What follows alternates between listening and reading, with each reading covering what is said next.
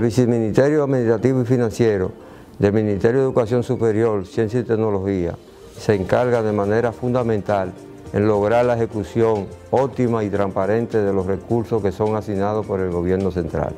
Este viceministerio está compuesto por dos departamentos fundamentales, a saber, dirección administrativa y la dirección financiera. La dirección administrativa está compuesta por el departamento de mantenimiento y por el departamento de compra. De igual manera, la dirección financiera consta de tres departamentos fundamentales. El departamento de contabilidad, el departamento de tesorería y el departamento de ejecución presupuestaria. Con la coordinación de estos departamentos se logra de manera adecuada y consona con las políticas establecidas por los diferentes organismos una ejecución apropiada de los fondos asignados.